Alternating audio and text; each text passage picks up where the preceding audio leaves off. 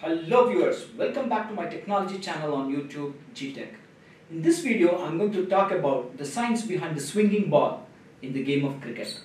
I'm also going to talk about the art and skills that one needs to acquire and practice in order to become a good and efficient swing bowler. Do watch this video till the end because it is loaded with information at every stage. Please share this video with your friends and relatives and make it popular. Also subscribe to my channel because you will receive notifications whenever I upload a new video. So let's start. Being cricketers and watchers of the game, many of you might have been fascinated when you observed a ball swinging at certain times when a particular bowler bowled. Some of you might also have tried to figure out the scientific facts behind such a phenomenon. You might have looked into some books, you might have looked into some articles, you might have looked into some videos. Also, you might have asked some expert regarding this. Even myself, being a cricketer at club level and also a student of science, I was always fascinated to know why a ball was swinging. I was always on a hunt for information everywhere. But most of the cases, I was never satisfied with whatever, whatever information that came across. Very recently, while surfing the net, I came across a research paper on the science of swing which seem more concise and precise when it comes to scientific facts and explanation. It is also backed up by observations from a number of repeated experiments in an ideal lab setup and proper equipment. It also carries more weight because it is published by none other than a NASA scientist who is also a former cricketer at club level. The gentleman that I'm talking about is by name R.D. Mehta. He's a NASA scientist he is a sports aerodynamics consultant. He is a sports journalist. He is also a former cricketer who played at club level. His research paper carries the name Fluid Mechanics of Cricket Ball Swing. He conducted his experiments in a special laboratory equipment called a wind tunnel. Super slow motion cameras were used to record the observations from the experiments. There were special sensors installed on the ball to record certain parameters. Fluid mechanics, a chapter in engineering physics, was used to compute the results and uh, explain the concept. In this video, when I talk about science of swing, it's mostly based on the research conducted by Mr. R.D. Mehta. So to keep this video interesting, I will be picking up some very interesting and fascinating points from the conclusions of his research. The first interesting and fascinating point from this research is that weather conditions at the ground plays minimal or insignificant role when it comes to quantum of swing that can occur to a swinging cricket ball. For example, on a dry sunny day when the temperature is about 25 degrees centigrade, if a ball could swing as much as 60 centimeters, the same ball on a cold day when the temperature is about 15 degrees centigrade would swing by another 2.5 centimeters extra. So this 2.5 centimeters extra is very insignificant when compared to 60 centimeters of swing that can occur on any day. So uh, similarly, it doesn't make much of a difference even on a uh, humid day. So that's what the experiments show. So isn't this point not interesting? The next interesting point is about something called as late swing that commentators and experts of the game frequently discuss about. Many of them feel that a ball swinging late is not a regular phenomenon and it's a special kind of delivery. When they say that a ball is swinging late, what they mean is that the ball starts to swing only during the later part of its journey towards the batsman. The findings from this research suggest that a swinging ball always swings late. In fact, late swing is actually built into the ball itself. A swinging ball actually starts to swing the very moment it leaves the bowler's arm. But most part of the swing happens only during the second half of its journey towards the batsman. The ball actually takes a parabolic path like this or like this. If the ball were to continue its flight for some more distance without pitching, probably it would have reversed its direction somewhere. Is this not an interesting point? before taking up more points, we need to learn more about swings and how they are referred to and classified. To start with, basically there are two kinds of swings. So if a batsman is a right hand batsman and if the bowler is a right hand bowler, if the ball drifts from left to right into the batsman, that is referred to as an in swinger or an in swing. So if the ball drifts from right to left and moves away from the batsman, that is referred to as an outswinger. Swings are further classified as conventional swings, reverse swings and contrast swings. Swings can also be achieved through some special effects such as Magnus effect and knuckling effect. Now let's try to understand each one of them in detail. So now what is conventional swing? So conventional swing is when a bowler intends to swing the ball in a particular direction by following conventional wisdom and swings the ball in that direction. For example, let us say that a bowler intends to swing, swing the ball out. That is, he wants to uh, bowl an outswinger. So he follows certain methods that are commonly adapted or commonly followed. And the ball swings out. So that is referred to as a conventional swing. So now what is reverse swing? Reverse swing happens when a bowler intends to conventionally swing the ball in a particular direction but the ball actually swings in the opposite direction. For example, let us say that a bowler intends to conventionally swing the ball uh, out, that is he wants to bowl an outswinger. So he follows all the methods to conventionally bowl an outswinger. But to his surprise, the ball actually would swing in. So that is referred to as a reverse swing. So now what is contrast swing? So when the ball becomes a bit bold, if one side of the ball is continuously polished and kept smooth and the other side is left rough and if the ball is bowled in a particular fashion, the ball tends to swing in the direction of the rough. So now since the ball is swinging because of the contrast in the texture between the two sides, this kind of swing is referred to as contrast swing. So let's now practically see how we can bowl an effective in-swinger and an outswinger using a new ball. Of course, I'm talking about conventional swing. So let's start with an outswinger. So to bowl an outswinger, this is how I need to grip the ball. So let's say that you are the batsman and I'm the bowler and if I keep the ball like this, this is the seam and it is in the upright direction like this. So now this is my hand. So I'm going to enclose it over the seam like this. You can see.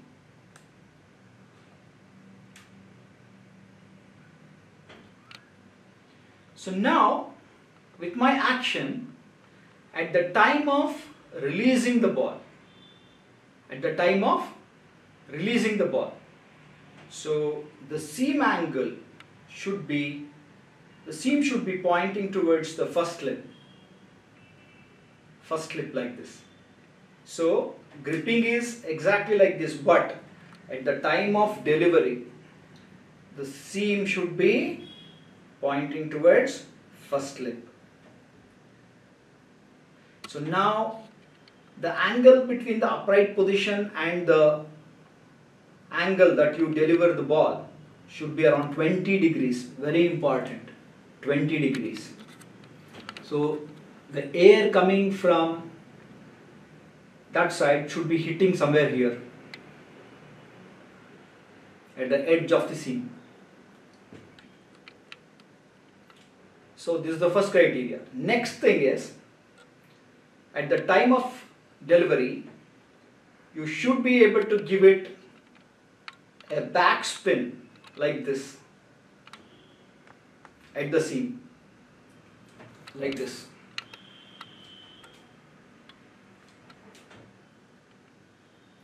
So the rate of backspin should be around 11 revolutions per second. The rate of backspin should be 11 revolutions per second.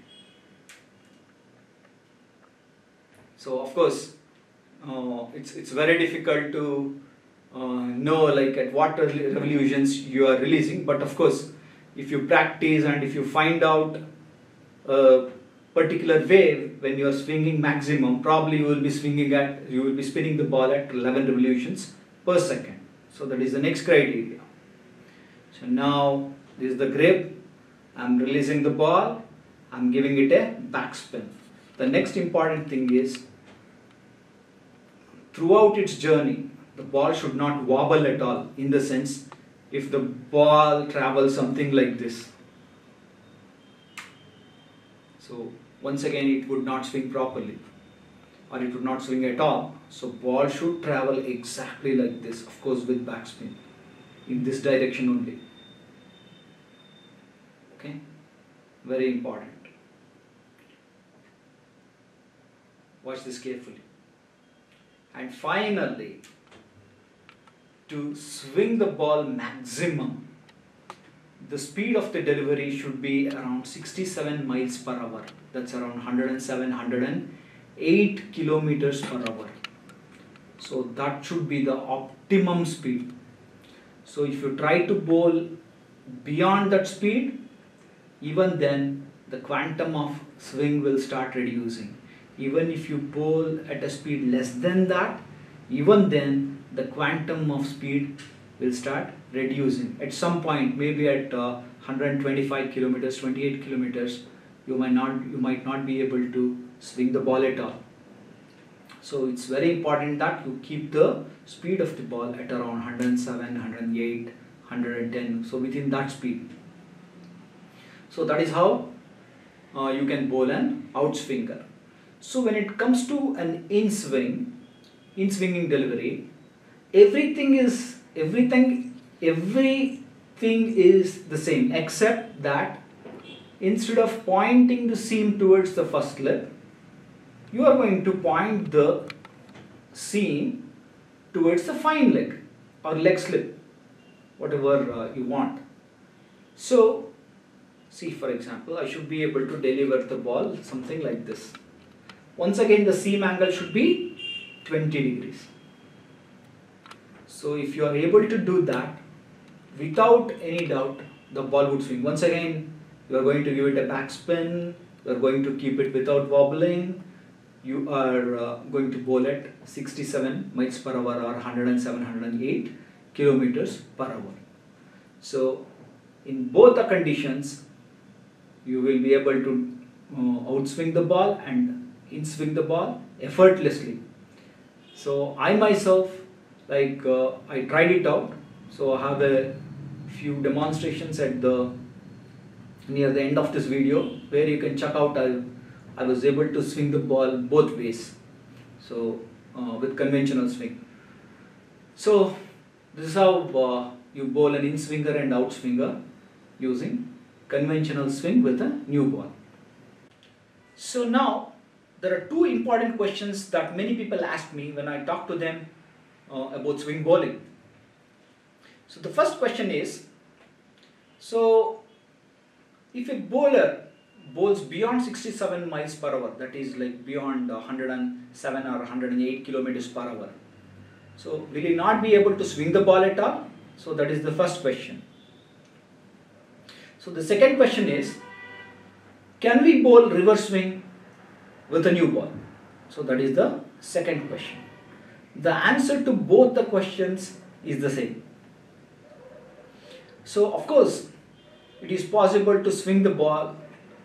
I'm, I'm talking about a new ball. It is possible to swing the ball even if the bowler bowls beyond 67 miles per hour or 110 kilometers or 108 kilometers per hour. But now the speed has to be beyond 140 kilometers per hour. Like if the bowler is able to bowl somewhere between 140 and 150 kilometers per hour, he should be still able to swing the ball. But in between, say somewhere uh, between 140 15 kilometers and 130 kilometers, ball would actually not swing at all. So that is the problem. So that is the first. The, that is the answer to the first question. Wherein same ball, for example, let us say I am bowling an outswinger, grip is the same, delivering angle is the same, backspin is the same, but only thing that changes is speed of the ball. Now instead of 67 miles per hour uh, or say 110 kilometers per hour, uh, sorry 107 kilometers per hour, the bowler will be bowling beyond 140 kilometers per hour if he's if he has the capability. So then actually for example if I'm trying to bowl an outswinger now so ball would not be swinging out instead the ball would swing in so the ball would reverse swing. So that is the answer to the second question. So if you bowl beyond 140 kilometers and if you are following all the conventional methods, so instead of bowling conventionally, if the instead of the ball conventionally swinging, it would reverse swing. So I myself was not convinced, but uh, I, I went to YouTube and uh, chucked on to many deliveries. Those were bowled by um, what was that guy? Brett Lee and Shaun Tait, etc. And uh, especially Brett Lee, I, I was able, able to observe, like when I saw some clear videos, I was able to observe. So the, the, the delivery of the ball was exactly like this and it traveled without wobble and was a little bit spinning. But instead of ball moving out, it came in so, and the speed of the ball was around 140, 140 kilometers per hour. So, uh, that, that's a very big evidence that uh, a new ball can reverse swing and of course uh, uh, a new ball bowler with a higher speed can also swing the ball. So now how to swing the ball when the ball is semi-new or a bit old? So this is explained through a concept called contrast swing which was coined by Mr. R.D. Mehta himself. So you can conventional swing the ball and you can also reverse swing the ball uh, when the ball is semi-new or even old. So to start with, you might have observed that during the course of a match, players continuously polish one side of the ball on their shoulders, on their thighs, etc. So by doing this, what they do is they keep one side of the ball smooth and leave the other side of the ball rough. So they try to create a contrast in texture between the two sides as much as possible. So in this way, it's it's possible to conventional swing as and also reverse swing very effectively. For example, let us say that I want to bowl a conventional in swinger when the ball is semi-new or when the ball is little bit old. But what I have done is I have maintained the smoothness on the surface on one side uh, of the surface on one side and uh, I have left the other side rough and now there is a contrast. So the first thing is I will try to keep the seam orientation. For example, if I am planning to bowl an, bowl an outswinger, I, I will try to keep the seam orientation towards the slips. So uh, there is no difference in that. So now the smooth surface the smooth surface is facing towards the batsman. So smooth, this is the smooth surface for example here, so it's facing the batsman and the rough surface is on the seam side. So now, if I bowl, so I should be able to bowl a conventional outswinger. So ball will swing towards the rough side, towards the seam side okay so now the same ball if I want to bowl a reverse swing. So I'm just going to switch the sides like this. Okay? So now seam orientation is once again towards the first slip. And this is the rough side which is facing the batsman. And this is the smooth side. And if I am able to bowl Uh, at a particular speed, so the critical speed initially with the new ball was for was around 145. Now probably if I am able to bowl at around 130, 135, I should be able to reverse swing the ball. So please observe. So this is the rough side, this is the seam still pointing towards the slips and this is the smooth side and now instead of uh, swinging this side now if I bowl at around 130 the ball will swing in. So it will be an in swinger. So if I were to keep the ball like this and probably the rough was here and if I had bowled at around 130 or something like that I would have outswing the ball. So it would have swung the swung on the rough side so by just switching the sides even if you are just a natural outswing bowler for example so you can only bowl outswingers because of your action. So once the ball becomes a little bit older, by just switching the sides, you can bowl in swingers and you can also bowl outswingers. So sometimes when the ball becomes still older, let us say the seam also will get, get bashed in. So seam also is not that very prominent. So in that case, let us assume that you have still maintained the smoothness on one, one surface and the other surface is rough. In that case, for example, if you bowl the ball exactly on the seam upright like this, of course giving some back, backspin is standard always. So this backspin is standard. So you are bowling like this so in that case, the ball will always swing towards the rough. Conventional. Okay. So even reverse is possible. So you might have observed at certain times when a bowler bowls exactly like this, the ball pitches and then starts drifting the ball pitches and then starts drifting.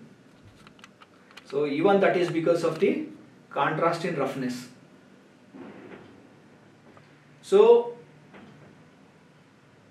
even an ineffective ball wherein actually everything is bashed in and it's very old. So even then you can uh, impart certain amount of swing if you uh, practice all the things that have uh, I've said. So that's how uh, uh, you can swing the ball with a semi-new and an old ball. Known methods by which you can swing the ball effectively when the ball is very old. So the first method is called as uh, Magnus effect or it is also called as Malinga effect because he made it very popular. So in Magnus effect, uh, a ball can be swung even when uh, it's, it's 50 or 70 years old when there is no contrast between the two sides and the seam is bashed in and there is no prominent seam at all and the ball might also be soft by then. So in this case what you need to do is so this is the seam orientation like you might have observed uh, when Malinga bowls he, he bowls with a uh, with an action wherein uh, his arm is not straight, like it's at an angle. So he is bowling the ball at this angle. So while doing so, the method that he follows is he imparts maximum amount, amount of backspin here. Very huge amount of backspin. Like this. So now in this angle, the ball is hurled towards the batsman with a great amount of spin. And this ball, for example, at this angle, will swing in like this. So that's how he is able to bowl those uh, deadly Yorkers. The ball dips, the ball swings in and traps the batsman. So he can do that even at, even in the 70th over of the match or even probably last ball of the match. So that is the Magnus effect. There is also something called as knuckling effect wherein the ball is bowled at lower speeds without any spin at all. It's very still while going to while uh, traveling towards the batsman. So even here, uh, of course, because of the seam, ball is observed to swing, and the swing is very unpredictable. So uh, this knuckling ball is usually uh, uh, probably uh, heavily used when a bowler is bowling the slower delivery, that is less than Uh, 70 miles per hour uh, with an old ball or uh, even a semi-new ball. So it, works very well. So that's called knuckling effect. So so that's about all the different swings um, that one can probably learn and bowl uh, in a cricket match. So I have provided link to Mr. R.D. Mehta's research article in the description. So I also have provided a few more interesting links. Uh, so please subscribe to my channel and please like this video because I'm going to bring in more such videos in the near future, of course on cricket. So most likely my next video will be on how to become an effective leg spin bowler. So it will be very interesting. So that's why you need to subscribe. Actually, I thought that uh, I would also cover some theoretical aspects uh, with respect to uh, the science behind the swinging ball. So I thought that I would explain. I, I would explain uh, the fluid mechanics of the swinging ball as explained by uh, Mr. R.D. Mehta. So for that, I, I read the article several times and tried to understand it.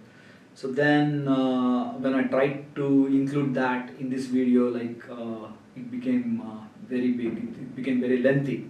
So I thought that I would make a separate video on that. So for now, I'm concluding this video with uh, a small demonstration. So, uh, wherein actually I'm myself bowling at the nets trying to uh, emulate so whatever I have tried to explain here so uh, just take it as fun. Please do not troll me. Because I'm an old man I will not be able to generate uh, the same pace that uh, youngsters can generate. But still I was able to uh, swing the ball and uh, I was able to find out that whatever theory says it also works in practice. So happy happy viewing. Enjoy life. Thank you. Good luck